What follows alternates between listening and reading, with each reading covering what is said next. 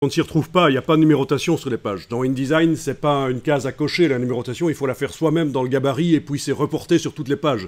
Donc commençons d'abord par la numérotation des pages, et puis on s'occupera des sous-titres qui sont comme ça actuellement, mais c'est juste un aspect euh, provisoire. Ils utilisent des styles de paragraphes et une fois qu'on aura mis plein de sous-titres à différents endroits du document, vous allez pouvoir, bien entendu, euh, les changer l'aspect.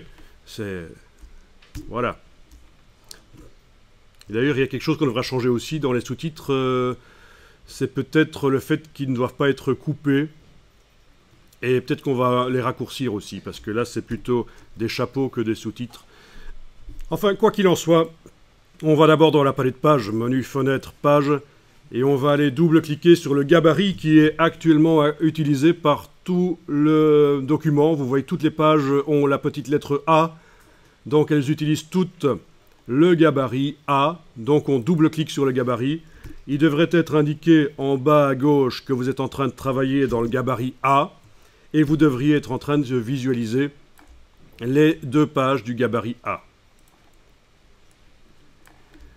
Alors on va faire un calque spécial pour la numérotation.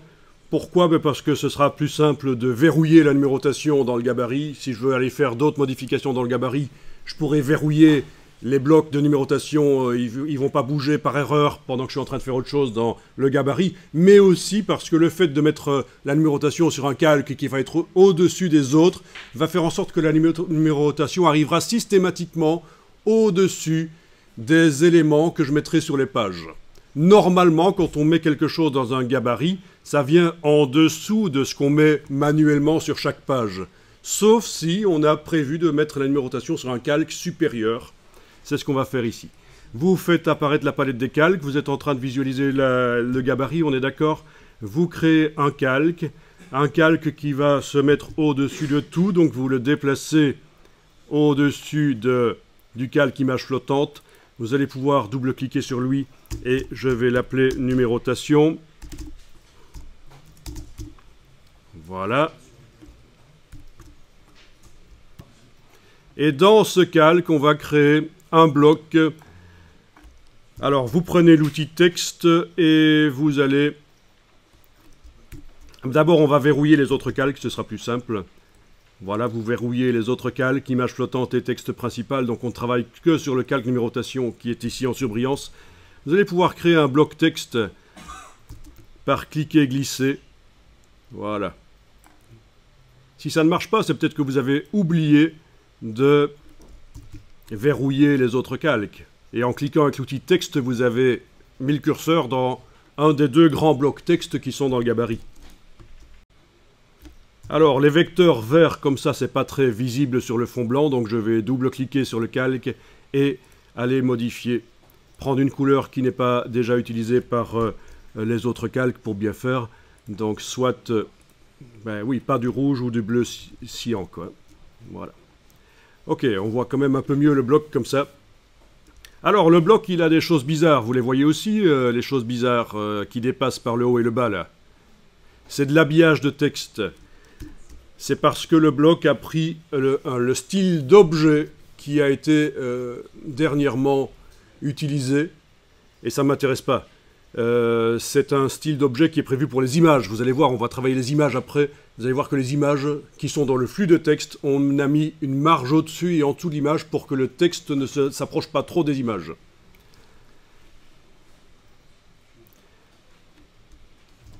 Donc, oui, on aurait pu aussi, vu que les images reposent sur des paragraphes dans le texte, on aurait pu aussi régler l'espace avant et l'espace après paragraphe. Les deux manières sont euh, possibles, mais on a plutôt préféré jouer sur euh, l'habillage. Alors on va aller dans les styles d'objets, menu fenêtre, style, style d'objet. Menu fenêtre, style, style d'objet. Et là, on va indiquer qu'on veut 100 style. Voilà. Alors il reste un petit signe plus. Plutôt ennuyeux.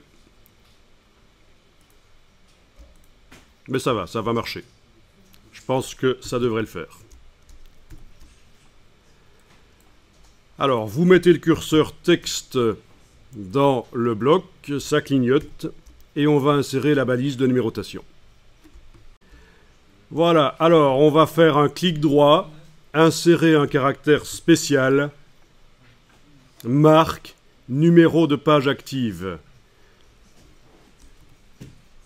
Et vous obtenez un A qui n'est pas bien sûr la même chose que si vous aviez tapé la lettre A sur le clavier, c'est juste euh, une balise qui s'adapte euh, en fonction de la page sur laquelle elle se trouve, elle va s'adapter, elle va prendre un numéro, mais vu que là on est dans une page qui n'a pas de numéro, c'est le gabarit A, elle prend la lettre A. Donc vous êtes d'accord, je répète pour ceux qui auraient loupé, clic droit, insérer un caractère spécial, marque numéro de page active.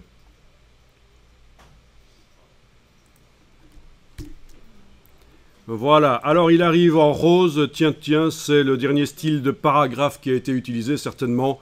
On va aller voir ça dans la palette euh, style de paragraphe, donc menu texte, style de paragraphe.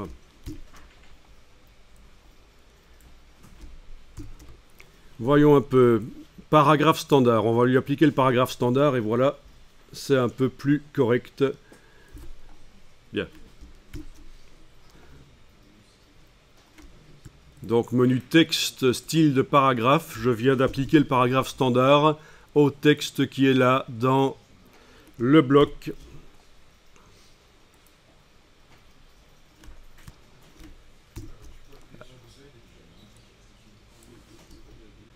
Alors vous sélectionnez le, la balise comme ça avec le petit signe hashtag éventuellement aussi qui indique qu'il y a une ligne tout simplement à cet endroit-là. Vous sélectionnez ça et on va dans le menu texte caractère, la palette caractère. On va aller modifier manuellement ce texte-là. Donc avec la touche majuscule, je suis en train d'agrandir ça et je pense qu'à 30 points pour euh, une numérotation, ce sera pas mal ici. Donc vous augmentez la balise, pas la balise, oui la balise, c'est une balise euh, de numérotation automatique. Vous augmentez le caractère à 30 points. Ensuite, vous allez prendre la flèche noire et double-cliquer sur la petite... Euh, non, attendez, parce que si on fait ça, ça va resserrer. Oui, faisons ça. On double-clique sur la poignée qui est en bas à droite du bloc. Ça va resserrer le bloc autour de, de son contenu. Et n'hésitez pas à le faire un peu plus large quand même, voilà. Augmenter un peu la taille comme ça, voilà. Alors on va le centrer dans les deux sens. Donc euh, menu texte euh, paragraphe. La palette paragraphe va vous permettre de centrer la balise dans son bloc. Voilà, horizontalement. Puis on va le faire aussi verticalement. Donc après l'avoir fait horizontalement, le centrage on le fait verticalement. Il faut faire un commande B sur le clavier du Mac, CTRL B sur le clavier du PC, ce qui correspond à objet, option de bloc de texte. Et ici vous allez enclencher l'alignement centré, c'est le, centrage vertical. Voilà, le centrage vertical. Donc commande B, la touche CMD et B sur le Mac, ou, euh, ou CTRL B sur le PC. Ça vous appelle les options de bloc de texte. Et on fait alignement centré. OK. On va enregistrer le document. On n'est jamais trop prudent. Enregistrez-le dans le dossier que vous avez reçu. Il n'y a pas de problème. Le document InDesign dans le dossier d'assemblage. Vous allez euh, l'enregistrer sous un nom différent. Voilà, numéro 36.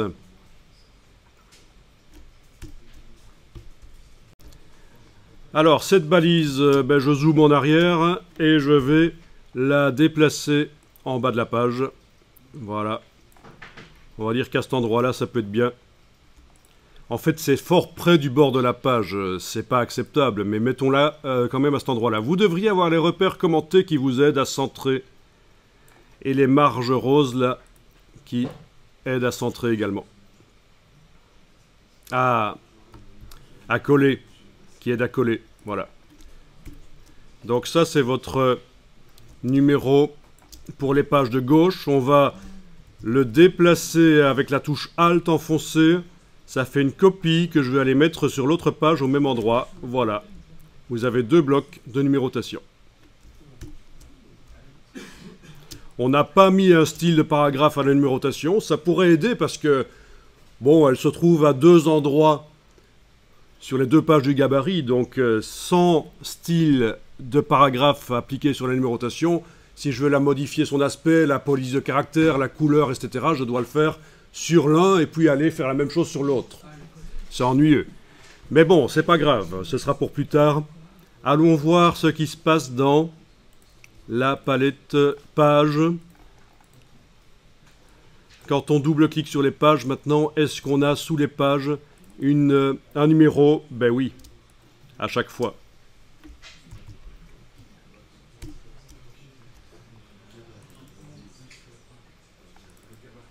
Alors, l'aspect des pages n'est pas génial. Le texte est fort grand, les numéros sont fort grands aussi, sont trop près du bord de la page. Bon, mais petit à petit, on avance.